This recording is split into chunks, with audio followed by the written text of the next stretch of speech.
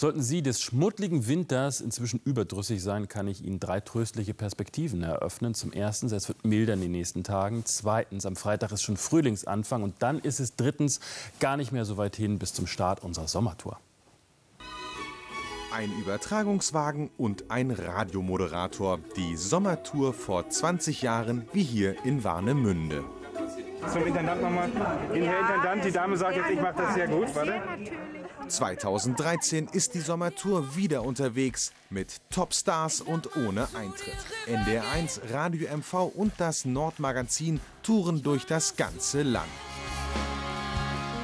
Los geht's am 22. Juni im IGA Park Herzlich willkommen zur Eröffnung der Internationalen Gartenbauausstellung 2003 in Rostock.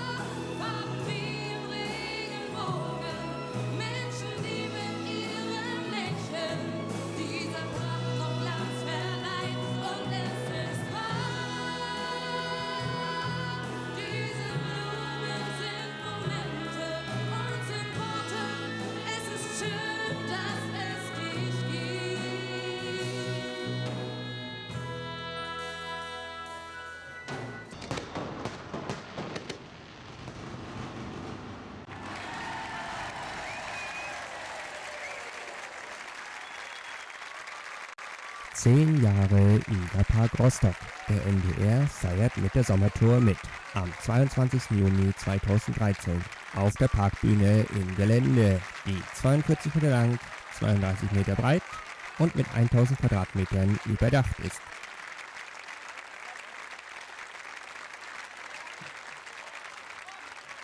Weiter über Ludwigslust und Anklam im August, dann nach Malchow und Wismar.